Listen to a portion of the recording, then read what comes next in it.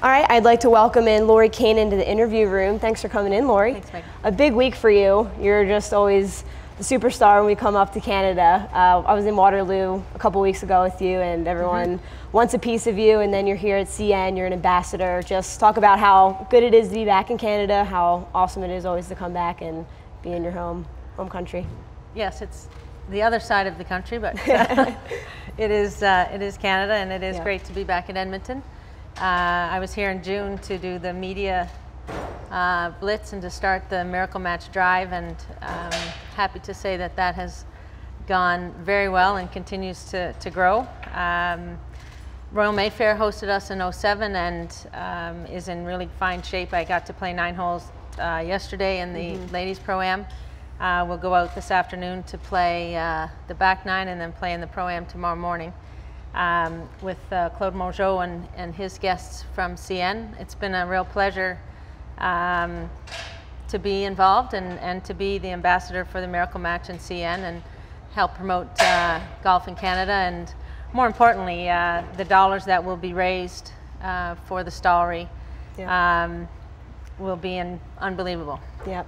Now, talk about CN just being such a strong supporter Mm-hmm. of women's golf and this event that they put on, which has produced. I just looked at the past champions list, which Right. is Meg Mallon, Beth Daniel, Suzann Pettersen. I mean, almost like a major like Right. list of champions. Just talk about the event that they put on every year and the courses it takes you takes us Right. to to Uh, produce that list. Well, it's it's it goes without noticing that um, you know in 2006 uh, we didn't have the CN Canadian. Well, we had the C, our first CN Canadian Women's Open, and prior to that, uh, you know, we were struggling to get to to gain hold of a of a title sponsor who understood. Um, what we could help them do and grow their business and ours as well. Uh, and as a result of that and the connection with Golf Canada, they have moved us around uh, this country quite gracefully to some of the best properties that we have. And as a result of that, it's our national open, and, and it doesn't surprise me the champions that we've had. Sure. Um, you know, in 2007, Lorena Ochoa played here and played some brilliant golf. Uh, the golf course stood up to us, and, and I think this week will be a great test. Yep. Um, the rough is, is long and uh, it's a little soft, I think, with the rain that we've had. But, um, you know, we have to thank CN because uh, the LPGA has grown leaps and bounds um, since 2006. And the dollars that have been raised for charity and children's hospitals uh, will surpass, I'm pretty sure, the, the goal to get over 10 million. So um, that's what I'm here to celebrate this week. Uh, my relationship with CN has been an important one to me. Uh, I know how important it's been to our tour uh, from a business standpoint and giving us an opportunity to help grow the game. And um, in this country, uh, to have two women's golf tournaments um, supported the way they are with a fan base, Yep. um, it's really exciting. Yep. Now, not only being an ambassador for CN Mm-hmm. and the tour, but for young Canadian golfers and the young crop, we say it every year that they're Mm-hmm. exciting and it's coming, but uh, we have a handful in the field this week and some shining stars that I think are going to For sure. be a force to be reckoned with in the years coming. Yeah, I had the uh, I had the pleasure. Sorry to interrupt you, but okay. I had the pleasure of playing Sundays round at Manulife with Brooke Henderson, and uh, 15 years old, and I kept thinking to myself, okay, anything I can do, she can do better. I'd hit it in six feet, she'd hit it in five feet. There you go. And uh, Danny reminded me that. Um, you know, she may have beat me by a couple of shots, but Danny said, uh, and Danny Sharp's my caddy. He said uh, he, you got dusted by a 15-year-old, and I said, thank you for that. Thanks for that. But you're right. You know, um, again, I have to I have to give uh, hats off to Golf Canada and what they're they're trying to do. And um, I had the opportunity to be involved with the pro am uh, the Monday of the RBC Canadian Men's Open uh, with the Golf Foundation. The Canadian Golf Foundation is we're trying to really come up with a plan to help. Uh, young kids get involved in the game, keep them into the game, keep them part of Team Canada as an amateur, and then encourage them and support them through the first stages of, of being a, a young professional. It's, it's Sure. not an easy transition. Um, some might say, well, why is it our job to, to keep, um, you know, help support a young professional uh, in their endeavor? Because Right. once you turn pro, you turn pro. Uh, but my feeling is it just continues the circle, and that the younger player will want to stay involved in the game. Um, as a as a female, uh, I think we tend to lose girls, and um, you know, we'll step away in at this level for reasons if people want to have women want to have families, but to keep them involved in the game. I come from a family of all girls, mm-hmm. and we only have one golfer other than myself in the family, and that's my dad. So um, it you know it is tough, but uh, with the help of Golf Canada and the Future Links program, um, I think you're right. Uh, there's it's a rising future for women's golf sure. here in this country. And I remember Brooke Sedge, I think she had a practice round with mm-hmm. you in Waterloo as well, and she came in for a press conference and said, I mean, I picked Lorie's brain, so I think you've played the role already just to be able to give them a little feedback. They've seen you succeed on tour, and well, and I have to, that. you know, I, I picked the same brains of Dawn Coe-Jones, Gail Graham, Lisa Walters, and of course, um, my champion for me was uh, Jocelyne Bourassa, who um, is the only Canadian to win the Canadian Open, and at the time in 1975 mm-hmm. it was mm-hmm. La Canadienne. Uh, and we would love to have another Canadian win. Sure. Um, we've got a few girls walked in the room here, and uh, yeah, we're strong. We're we've got some really great talent, and I just think it's uh, it's going to be a fun week. Um, I think if I read correctly, there were 19 Canadians in the field, uh, and that's great because anytime we have an opportunity to play in an LPGA event um, to showcase what it might be like for the amateurs who, who might decide they want to play professional mm-hmm. golf. Um, it gives them an opportunity to, uh, to be showcased in our own country. Sure. Questions for Lorie? Very passionate about Canadian golf, Lorie. Uh, how important is it for this uh, tournament to stick around beyond this year? Oh, it's you know I hope I hope it does. Um, but again, my goal for this week was to come and celebrate what we have accomplished to this date and not to worry about what's going to happen uh, on Monday. Uh, I really feel strongly about that. I, I, you know, I think all the everything will come together. Um, maybe it's wishful thinking, but I'm pretty sure that uh, our brand as an LPGA Tour brand, like I said, what's happening here in this country with, with women's golf on the rise, uh, you know, it'll, it'll, I think it'll be fine. Else? Oh.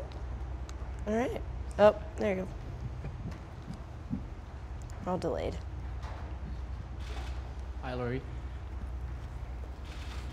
So uh, last year it was uh, 15 years old Lydia Ko that won uh, the tournament. So how do you see uh, the next generation uh, for the, the female golf going? How do you think it's? Uh, do you think it's going on on the right way? How do you do you think uh, the golf will go on a, well the female golf will uh, will go in the next years in the I, am not sure I'm, I'm understanding I'm sorry, your question. I, yeah. I might have some uh, difficulties to express myself in English, but. Uh, Do we have someone who can translate English to French? Well. We must.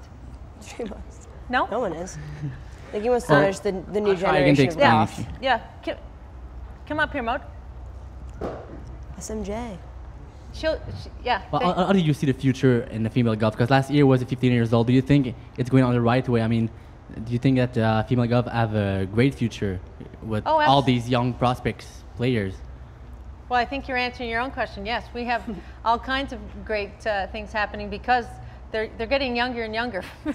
50, if Brooks 15, I think the average age of, of probably our national team is is maybe 19. Um, that you know those kids are going to go to college i hope um, get some college experience. And then if they choose to turn pro um, i think we're in a real healthy position. I, I, think we've got some very talented young canadians who are on the rise. Um, one sitting over here right in front of me or two of them one behind you and uh, rebecca had a great season last year finished off winning the tour school. Nicole Vandermade is, is a, a regular on the symetra tour Jennifer Kirby, who's playing this week, has just graduated. I, the future is bright. I, am excited about it. Um, at one time, we probably only had six. My rookie year, we might have had six or seven players on the LPGA Tour Canadians. Now I know this week we've got 19 girls playing in this field. I think that's a strong number and, and suggests that uh, women's golf is healthy. Thank you very much. For the conclusion. Okay, thank you. Right here. She did. So talking about the future, what about your future? I mean, do you sort of have to stay in the game to sort of be the sort of icon for these young up and coming golfers, or I know um, you're tired of the question, but I'm never tired of asking, answering questions. Um, yeah, no, I, my, my, uh, I don't see a, an end to anything that I do. I can only see uh, day to day and trying to get better. Um, if, if I, if it takes, you know, another 10 years, I'm not planning to leave anytime soon. And if I can lend a hand to, to these younger players, uh, then I'm willing to do that. I, you know, like I said, I was helped. Um, I come from our smallest province, and they supported me 100%.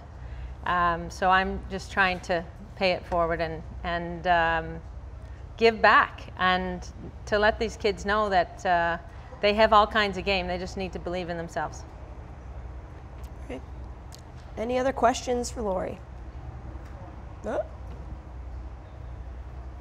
Lorie, you talked about um, the next generation coming up. So, Golf Canada has some good programs in place right now to get these kids prepared.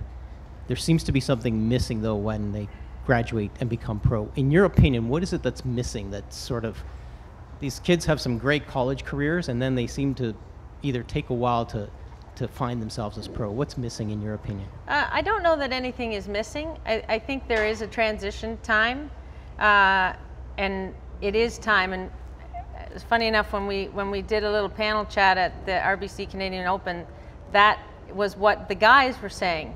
You know, there is a there is a transition period. I'm I'm an example of a late bloomer. I would say Mike Weir is the same. Um, I think the opportunity that the younger player has now, they need to take advantage of all the opportunities that they have, and um, not be afraid to ask for help when they need it.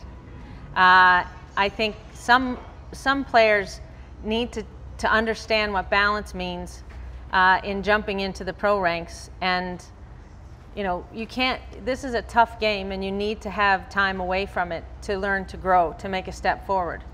Um, I don't think there's any missing link other than time. It just takes, I think as Canadians, we might take just a little extra time to get where we're going.